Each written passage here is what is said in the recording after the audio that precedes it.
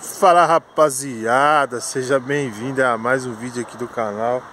Rapaziada, é, o videozinho é para quem acabou de pegar um trinca-ferro. Posso ou não posso estar tá colocando o celular, rapaziada? Tem muita gente aí que tem essa dúvida Beleza? Então eu quero estar tá falando sobre isso Nesse vídeo. Então, solta a vinheta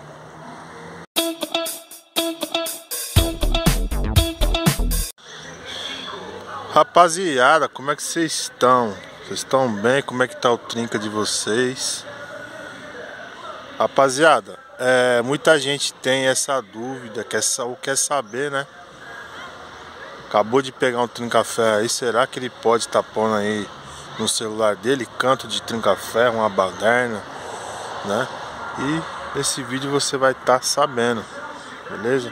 É uma informação aí muito importante então não deixa de estar tá compartilhando o vídeo, beleza? Já peço para vocês aí que venha se inscrever, tá no canal, venha deixar aquele like, tá? Dá aquela marretada no like e compartilha o vídeo. Rapaziada, eu quero fazer uma pequena comparação, tá? Leão tem uma coisa assim comum com trinca-ferro, todo pássaro que é de território, né? O leão você pode ver na selva, na natureza, tá? que eles são a mesma coisa, eles são de território, né? Então se o leão tiver na, na, no território dele aparecer outro trinca-ferro, o que, que vai acontecer? Eles vão brigar até um correr, só que geralmente eles brigam até um morrer, né? E se o que invadiu conseguiu matar o leão, né? Que é o dono do território, eles matam os filhotes também junto e acaba fazendo com as fêmeas uma outra geração, né? Então é assim que funciona, tá? São muito, terri muito territorialistas, né, rapaziada?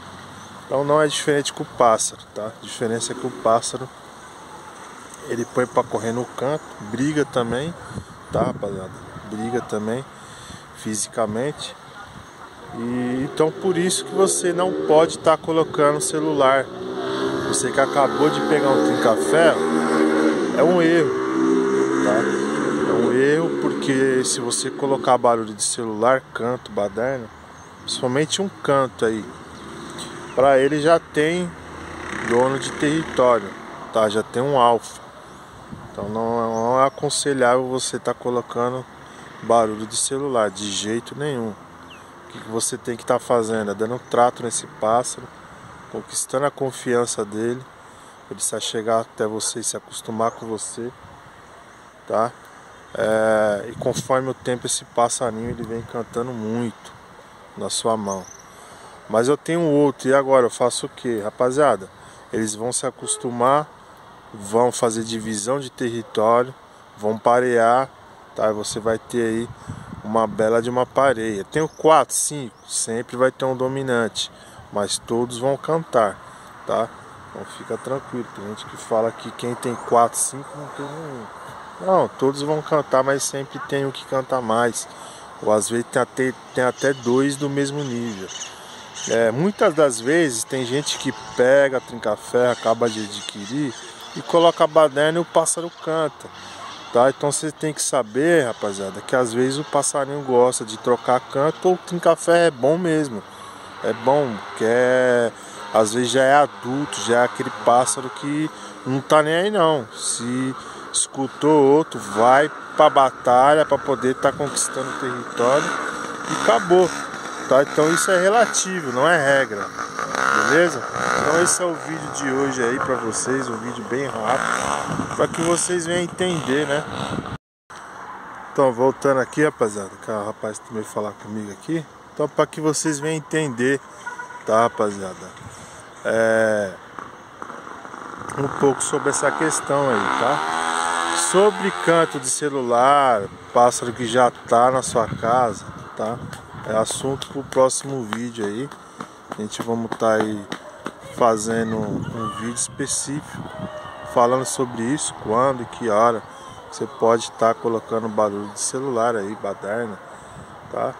É um vídeo também rápido, básico, mas geralmente, rapaziada, eu costumo colocar baderna de vez em quando, né, rapaziada, aqui em casa, tá? Não tem necessidade e você está aí o tempo todo com o celular é, ligado aí, tá? Os passarinhos de vocês aí não.